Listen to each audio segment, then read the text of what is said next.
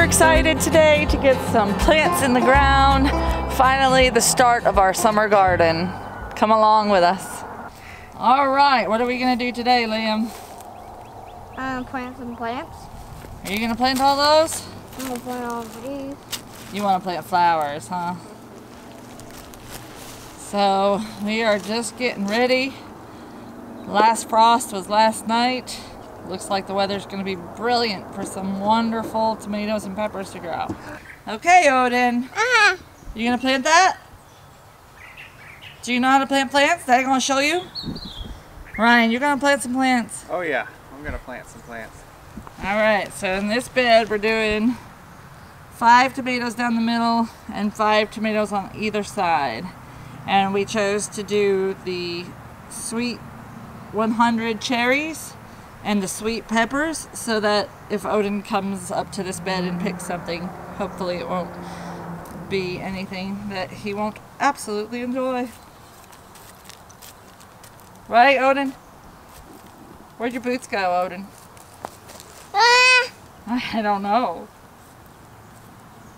Now, a lot of times you'll see people or hear people or read people even saying that these hairs that you see along the outside of the tomato plant, sometimes people say that those are going to turn into roots, but that's not actually what happens. Those hairs are trichomes.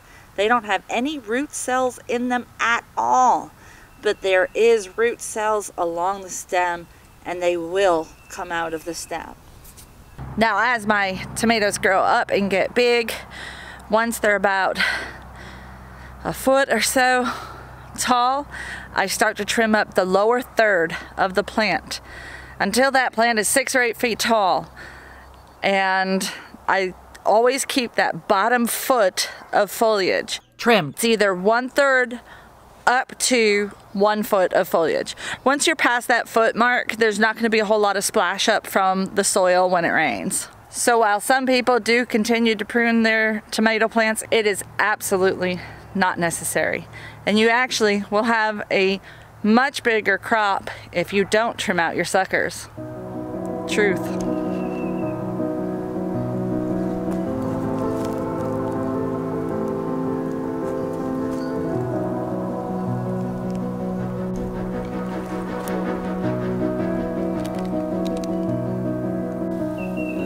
Yeah.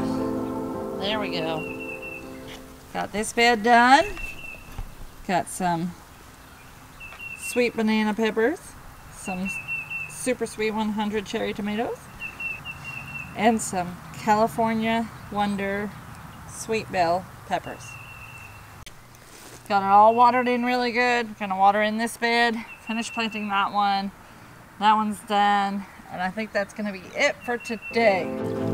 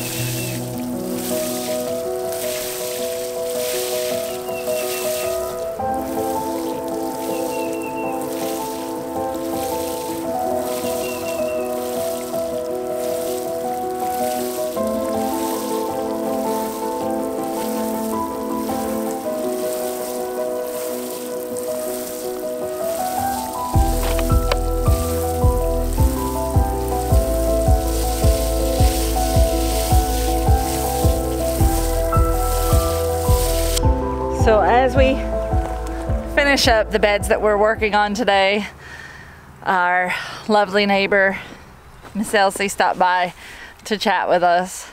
She loves to garden and can, and so we were talking about canning supplies, shortages, and the different types of tomatoes we like to grow and why. And you know, this lady is a wealth of knowledge, and, and one of the tips that she has given me recently is to plant with the astrological signs. she provided me with a calendar for that, and I really want to give it a try. I've never really done it that way, and I figure why not? It can't hurt anything, uh, and if it works and provides a better plant, that would be really fun to do, don't you think, Ryan? I think it would be fun to try it out and see if it works good or not. So today is not one of the days that's marked on the calendar that she made for me. That's a good planting day, but I think I'm gonna do my seed sowing vegetables with the calendar. So these were plants that had to get in the ground because they were needing to because they they're in little pots and they just needed to get their roots going. But things like cucumbers and all of the other squash and beans and such that we just directly sow into the ground as seeds, I think I will try to follow the calendar and maybe I'll even experiment and do some with the calendar and some off of the calendar and see if there is a difference side by side. That sounds fun. Yeah, I think so. It'll be interesting if nothing else. And you guys know I like to be scientific and I avoid garden myths, but I also like to experiment in the garden. So this will be a fun experiment for us and check out and see if one of these you know, non-scientific garden myths might have some truth to it. You know, the the moon does play an effect on the tides and our bodies and that's been proven with science. So who's to say that it doesn't have an effect on the plants too? I bet it does. We'll see. So now that the beds are full and they have complete weight in them, we were able to put our trellis back up. The wind blows it over when we have our big windstorms we get here. So we needed to get the beds filled so that we could screw it directly into the end of these beds. So now it won't fall down anymore in the wind. And I absolutely love it. Oh my gosh. Y'all, this is mine. This is my garden. This is me. And Ryan. But wow. you don't even know. I can definitely say that we've come a long way. Been through so many troubles and worries and issues and health stuff and financial woes and moving and babies and health stuff. And finally, things are really coming in to fruition. It's it's happening. All of the dreams, all of the desires I've been wanting are finally happening. And I can't wait to share it all with you guys.